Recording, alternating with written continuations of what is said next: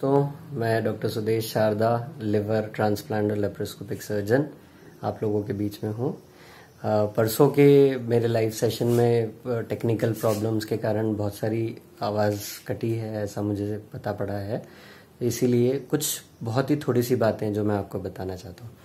जैसे कि हम लॉकडाउन 2.0 में हैं, आप सबको पता है, अब हम थकने लगे हैं, निराश होने लगे हैं डिप्रेस होने लगे हैं, हताश होने लगे हैं।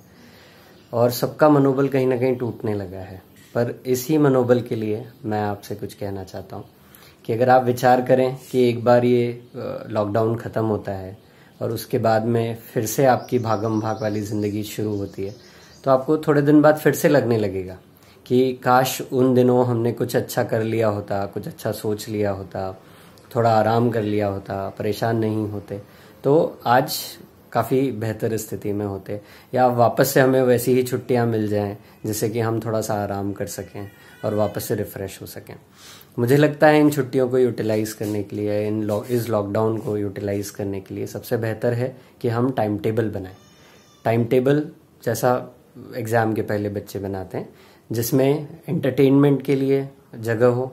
एंटरटेनमेंट में सिर्फ़ टीवी या नेटफ्लिक्स या वेब सीरीज़ ही नहीं अगर हम इनोवेटिव इंडोर गेम्स या हमारे पुराने गेम्स याद करें, जैसे कुछ स्पेशल गेम्स राजा मंत्री चोर सिखाई कैरम, हम अगर ये अपने परिवारजनों के साथ खेलें तो हमें बहुत आनंद आएगा।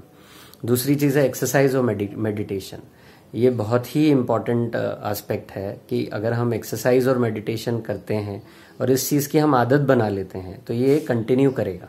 ये हमेशा हमें कहीं ना कहीं सहयोग करेगा हमें स्वस्थ और स्वच्छ रहने के लिए। फिर आती है बात कि हम हमारे परिवार के लिए कुछ समय निकालें।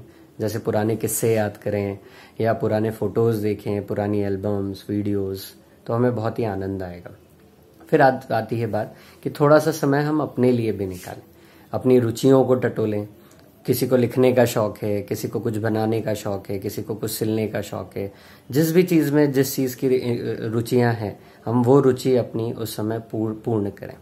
और फिर बात आती है कि कुछ समय हम आगे अपने भविष्य के बारे में थोड़ा बहुत सोचें।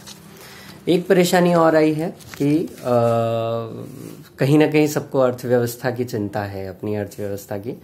मैं भी मानता हूँ कि आगे अभी आने वाला समय बहुत कठिन है। पर अगर हम एक छोटा सा विचार करें कि अभी कुछ ये जो लॉकडाउन का समय है इसमें हमारा कितना खर्चा हुआ या हमें कितने रुपयों की ज़रूरत पड़ी। मुझे लगता है कि एक साधारण जीवन जीने के लिए हम लोगों को उतने ही संसाधन और उतने ही रुपयों की ज़रूरत पड़ेगी। तो अगर हम ये तीन से छः महीने इसी तरह से जीवन आराम से व्यतीत कर लें तो मुझे लगता है कि फिर से बचत शुरू होना चालू हो जाएगी। तो आप इस चीज़ की चिंता करके परेशान होते रहें तो ये लॉकडाउन पूरा खराब हो जाएगा। इससे अच्छा है कि हम ये विचार करें कि हम पैसे संचय करें और सारी चीज़ें फिर से नॉर्मल पटरी पे आ जाए। इसी चीज़ के लिए आ, संत योग योगी जी जोगी जी ने कहा है ज़िंदा हो तो ज़िंदा जियो। कल का क्या है पता नहीं। जो भी है आज में है फिर भी दिल को कल की फ़िक्र सता रही। इसी के साथ मैं ये कहना चाहूँगा कि जितना भी है उसमें खुश रहें और कोशिश करें कि अपने आसपास कोई भी भूखा ना सोए। इसी के साथ में खुश रहिए, मस्त रहिए, स्वस्थ रहिए। जय हिंद, जय भारत।